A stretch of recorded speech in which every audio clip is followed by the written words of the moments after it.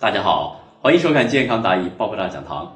我们是由五个医生组成的自媒体，我是主持人夏夏。今天我们来说说怎样控血糖，几个技巧帮你吃饱饭不升糖。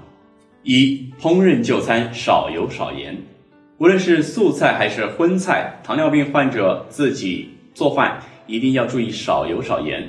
同时建议平时主要以清蒸和水煮的方式来做菜，因为如果日常饮食摄入的油脂过多，会导致体内脂肪增加，从而容易引发血糖升高。二、进餐调整顺序，先喝一碗汤。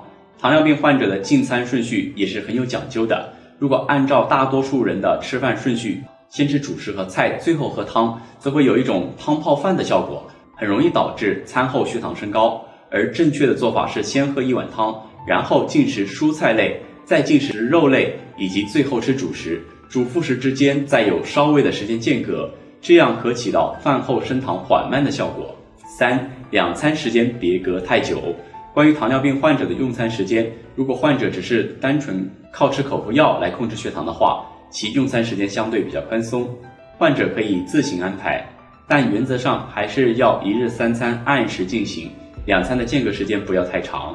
好了，各位亲爱的朋友，今天我们就先聊到这里了。如果大家有什么疑问，可以关注我或在下面评论区留言。我们医生每天下班后集中一个时间和大家在评论区交流关于饮食的那些事。